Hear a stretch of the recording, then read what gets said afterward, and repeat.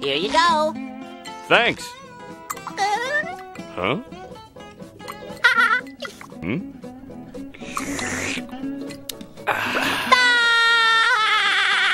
Ah! April Fools! What did you do to my drink?